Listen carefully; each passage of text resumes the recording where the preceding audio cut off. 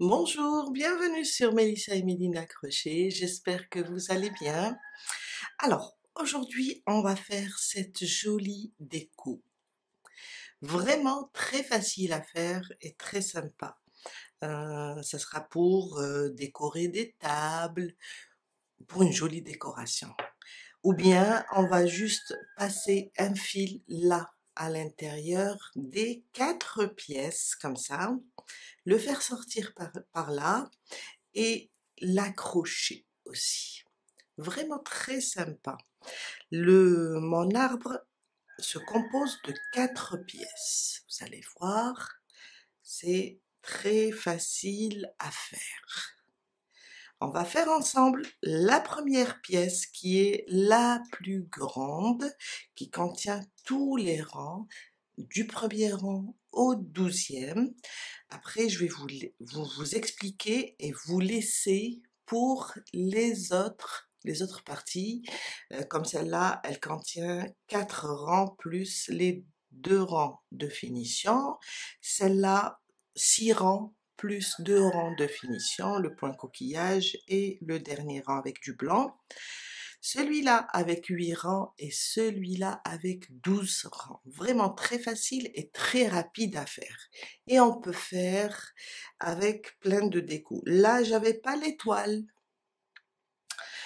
J'ai mis des perles et ça donne ça. J'adore.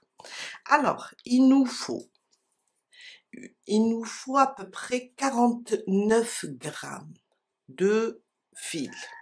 Alors les pièces, elles sont détachées, hein, mais on peut aussi les coller, car euh, là quand j'ai collé euh, les perles, euh, là un peu de colle à coller les deux pièces, on peut aussi les coller pour les garder fixes. Comme on peut le travailler juste comme ça, petit, avec trois pièces. 49 grammes. J'ai des restes de fil, j'ai beaucoup de restes de fil, alors j'ai décidé de faire des petites décos. Et en même temps, pour vous donner des idées. Qui se crochettent, peu importe, entre 2,5 et 3,5, euh, 4, tout dépend de ce que vous avez. Vous allez juste adapter votre crochet. Comme le mien se crochette avec un deux et demi, là j'ai pris un crochet, waouh, deux et demi. Je ne sais pas si vous arrivez à voir. On va avoir besoin aussi d'une paire de ciseaux, une aiguille à tricot.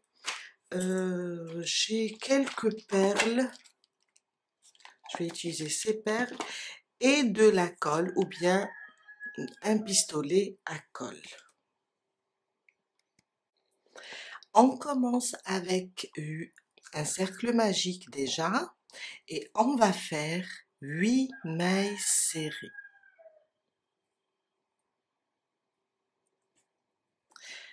Alors, ma boucle du départ, je la compte pas. Et je commence une, deux, trois, quatre, cinq, six, sept. Et huit. Huit mailles serrées dans le cercle on le ferme, on le ferme complètement, après je vais serrer encore, et on vient là sur la première maille serrée, je vais rapprocher, on vient là sur la première, on pique et on fait une maille coulée. Et ça, c'est notre premier rang avec 8 mailles serrées. Mon deuxième rang, trois mailles en l'air. On va commencer à travailler avec des brides. Alors, les trois mailles en l'air, on va pas les compter, c'est juste pour monter. Là où on a fermé sur la première maille serrée, ici, je vais faire deux brides. une augmentation. On va augmenter les huit mailles du rang précédent. Une, je reviens au même endroit. Je rajoute la deuxième. Et là, j'ai une augmentation, j'ai deux brides dans le même point. On compte les trois mailles en l'air. Dans le prochain, deux brides aussi. Une et deux. À côté, deux brides. Et on va faire dans chaque maille deux brides. À la fin du deuxième rang, on va avoir 16 brides. Je suis à la fin de mon deuxième rang, j'ai terminé. Si je compte mes brides, j'ai 16 brides sans compter. On compte pas les trois mailles en l'air. On va fermer notre rang et on va le fermer. Waouh, viens là toi. On va le fermer sur la première bride, sur celle-là. On ignore les trois mailles en l'air, on vient là, sur la maille de la bride, comme ça. On pique. On ramène le fil et on fait une maille coulée. Mon troisième rang, trois mailles en l'air, on va pas aussi les compter. C'est juste pour monter, pour être à l'aise, pour ne pas laisser de trous. Dans la première, là où on a fermé, ici, on fait une bride individuelle. À côté, une de, pardon, une deuxième individuelle. À côté, une troisième, et ça sera rien que des brides individuelles sur chaque maille. On reste sur le nombre 16 brides. Juste des brides individuelles. Je suis à la fin de mon troisième rang. On va fermer. J'ai fait mes 16 brides. On va fermer sur la première, là, la première bride. On va ignorer les trois mailles en l'air. On va sur la maille de la première bride. Et voilà. Mon quatrième rang, trois mailles en l'air, toujours mais on ne les compte pas. Là où j'ai monté mes trois mailles en l'air, je fais une bride. À côté, une augmentation.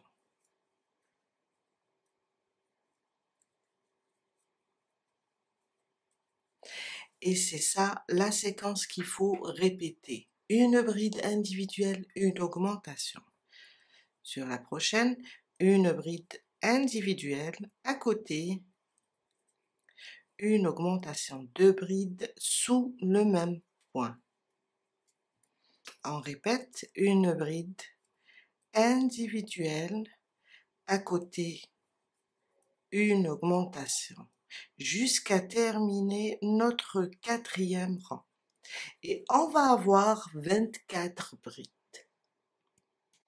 Je suis à la fin de mon quatrième rang.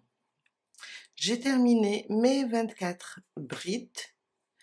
Je vais fermer sur la première bride, sur la maille de la première bride. Mon cinquième rang, trois mailles en l'air. On va faire une bride sur chaque maille, des brides individuelles. Alors là où on a fermé, et monter trois mailles en l'air, je vais mettre une bride. Je vous ai dit, les trois mailles en l'air, on ne les compte pas. À côté, une bride. À côté, une bride. Rien que des brides individuelles jusqu'à la fin du euh, cinquième rang. Et on va rester sur 24 brides. Je suis à la fin de mon cinquième rang. On va fermer sur la première bride, comme d'habitude. On ferme toujours sur la première bride car les trois mailles en air ne comptent plus. Mon sixième rang, toujours trois mailles en l'air, mais on ne les compte pas. On va faire deux brides individuelles, une augmentation. Alors je viens là, là où on est fermé. Je fais ma première bride individuelle. À côté, une deuxième. À côté, une augmentation. Une, et je reviens pour ajouter la deuxième. Et deux. Et on répète, deux brides individuelles, une, à côté, une deuxième, à côté, une augmentation.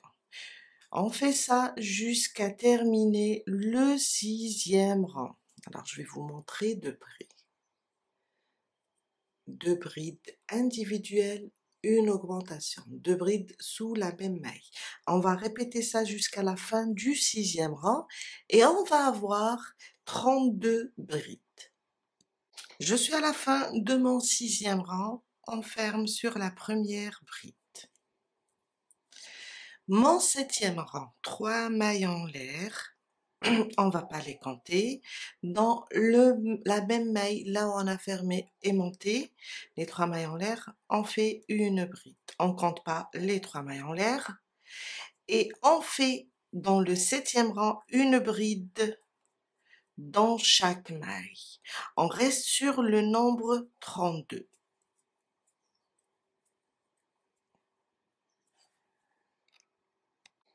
Mon huitième rang, trois mailles en l'air. On va pas les compter. Là, au même endroit où j'ai fait, où j'ai piqué, plutôt fermé, on va faire une bride. À côté, une deuxième. À côté, une troisième. Trois brides individuelles. À côté, une augmentation. Et c'est ça la séquence qu'il faut répéter. Trois brides individuelles, une augmentation. Jusqu'à la fin du huitième rang. Un, deux, trois. À côté, une augmentation deux brides sous le même point. Et on répète ça jusqu'à la fin du huitième rang. On va avoir 40 brides. Mon neuvième rang, trois mailles en l'air. Et on va faire une bride sur chaque maille. On va rester, alors sur la première, là où on a monter les trois mailles en l'air, une bride, on va rester sur le nombre 40, rien que des brides individuelles.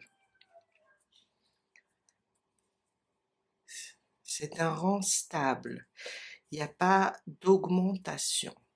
Une bride sur chaque maille jusqu'à la fin du neuvième rang avec 40 brides. Mon dixième rang, trois mailles en l'air alors, normalement, on va faire quatre brides individuelles, une augmentation. Et c'est ça ce qu'on va faire sur ce rang. Seulement, juste au départ, on va diviser les quatre brides individuelles. On va faire seulement deux. Alors là où je suis montée, je mets ma première bride. À côté, ma deuxième bride à côté, je vais faire l'augmentation. Je vais un peu décaler les augmentations.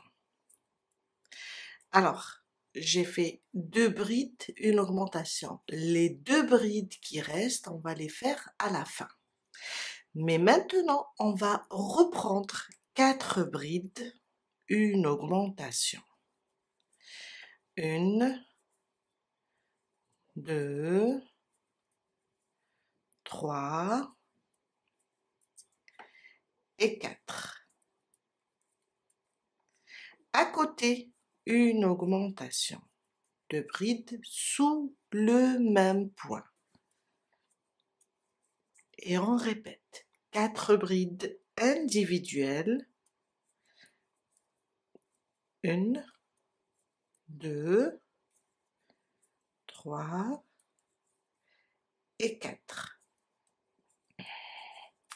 À côté, une augmentation. Et on répète ça jusqu'à la fin du dixième rang. Alors, quand on compte, le, le rang de mailles serrées, on le compte. 1, 2, 3, 4, 5, 6, 7, 8, 9 et 10.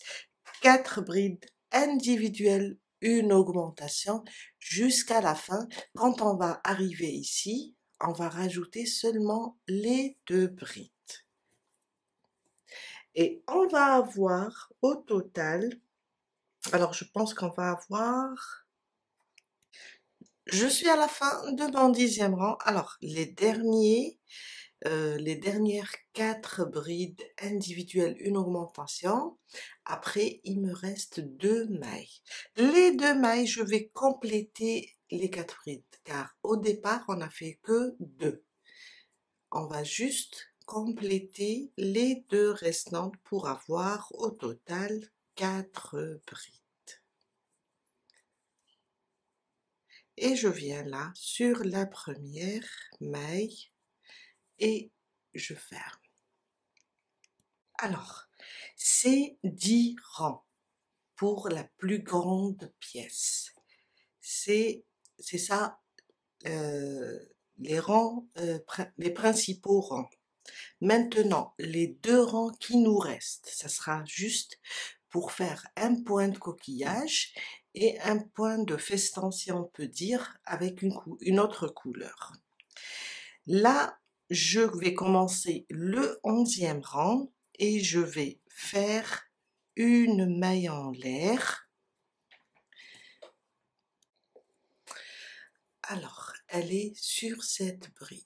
Qu'est-ce qu'on va faire? On va sauter celle-là. Dans la suivante, on va faire six brides. Alors, on est là, on saute celle-là. Dans la suivante, on fait six brides. Et ça, ça sera pour tous les, pour toutes les pièces. Quand on arrive sur le rang de coquillage, on travaille de la même manière. Ça, c'est ma deuxième bride. Ma troisième. Quatre. Cinq et 6.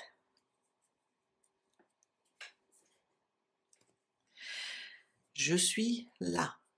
On va sauter celle-là sur la suivante. On va faire une maille coulée. On va sauter la prochaine, on est là, on va sauter la prochaine sur la suivante. On répète les six brides. Une, 2, 3, 4, 5 et 6. Même chose, on est là, on va sauter celle-là. Dans la suivante, on va faire une maille coulée. On va alors, c'était là la main coulée. On va sauter celle-là. Et sur la suivante, je répète les six brides. Et on va faire ça jusqu'à terminer notre onzième rang. À chaque fois, on saute une maille, on fait six brides. On saute une maille, on fait une maille coulée. Jusqu'à terminer le onzième rang. Alors j'ai 5 et 6. On va, on va bien qu'on est là. On va sauter la suivante. Sur la prochaine, on fait une maille coulée. Je suis vers la fin de mon onzième rang. J'ai terminé le dernier coquillage avec six brides. On va sauter celle-là et on va venir ici, là où on a commencé. Je pique, je ramène le fil et je fais une maille coulée. Une maille en l'air, on va couper le fil car on va changer de couleur. Je vais prendre du blanc. Alors, on va commencer dans n'importe quelle maille coulée là où on a fait les mailles coulées. Je vais m'éloigner un petit peu car je veux commencer à peu près ici ou ici. Quand je vais euh, marcher, je vais cacher en même temps ce fil. Je prends le blanc, je vais venir à peu près là, entre les coquillages. Je vais piquer, ramener le fil une maille, je vais la faire avec les deux fils pour le coincer, comme ça. Après, je vais continuer avec un seul fil et je vais cacher celui-là. J'ai mis une, euh, une maille, ou bien c'est une maille coulée, dans la maille coulée du rang précédent. Maintenant, je vais aller sur la première bride comme ça. Et je vais faire une maille serrée. À côté, une deuxième. À côté, une troisième. Trois mailles serrées. Là, je vais faire deux mailles en l'air et reprendre mes trois mailles serrées. On a six brides, on va les partager je viens sur la suivante, je fais une maille serrée, à côté une deuxième et à côté une troisième, ça. Là, je suis sur la maille coulée du rang précédent. Je vais juste piquer au même endroit où on a fait la maille coulée et je fais une maille coulée comme ça. Je reprends mes mailles serrées. Alors, une sur les bridins, 2 et 3.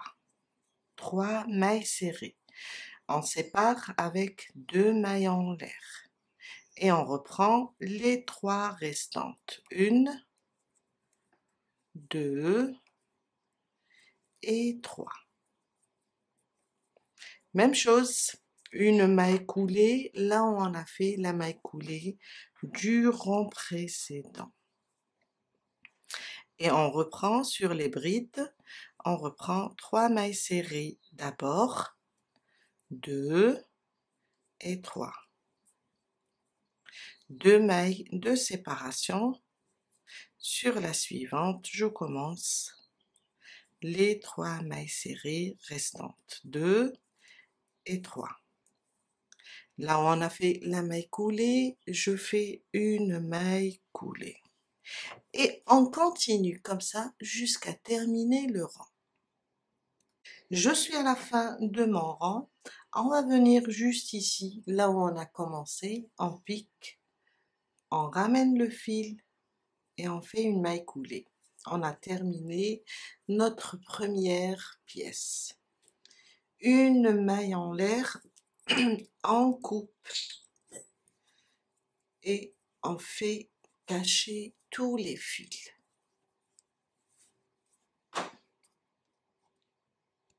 Alors, j'ai terminé les trois pièces restantes. On a fait celle-là avec 10 rangs le onzième et le douzième.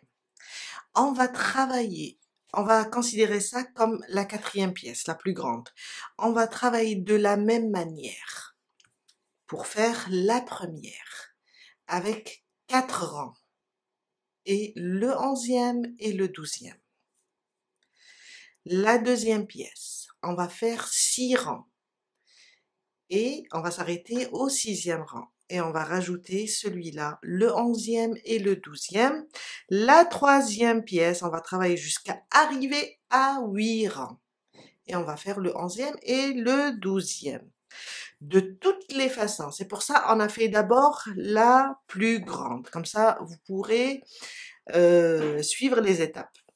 De toutes les façons, je vais faire les... Euh, je vais laisser pour chaque pièce, pour la première, pour la deuxième, pour la troisième et la quatrième.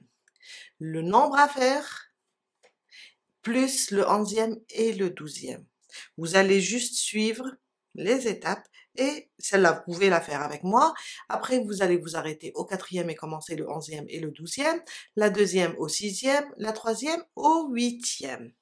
Là, j'ai commencé à placer des petites perles que j'avais. J'ai placé en bas, juste en bas. Car quand on commence à les, euh, à les placer comme ça, on va juste, on va cacher toute la partie haute, on va juste voir les perles. On place la troisième et je vais vous montrer comment on place les perles. Aussi, vous pouvez le laisser comme ça, comme une décoration sur la table, ou bien tout simplement, vous allez prendre du fil, je vais vous montrer, vous allez prendre comme ça du fil, piquer là dans la quatrième pièce et vous passez la troisième, la deuxième et la première et vous allez sortir ici au centre. Comme ça. Vous allez placer, euh, je ne sais pas si je pourrais passer dans cette perle, à moins que je ramène euh, une aiguille. Regardez-moi, cette aiguille, elle est magnifique. Alors, je, euh, je la glisse, j'enlève celle-là. Alors je les ai achetées sur Amazon, elles sont conçues pour les perles. Je glisse comme ça, oups, mon fil, et ça permet à passer dans cette, ce petit trou de ma perle Regardez, c'est magnifique. Alors, je, je vais l'enlever maintenant. Vraiment intéressante. Regardez comment elle est. Comment elle s'ouvre. Et c'est vraiment euh, magnifique, présenté dans des, euh, des petits euh, tubes comme ça. Excellent je reprends mon autre, mon autre, aiguille et je vais piquer, revenir là à peu près. Il faut que je pique maintenant dans les trucs, dans les espaces, dans le cercle, le centre. Voilà ce que je voulais dire. Je pique comme ça et je reviens. Je fais ça, j'enlève cette aiguille et je vais voir combien de fils j'aurai besoin. On laisse la perle ici,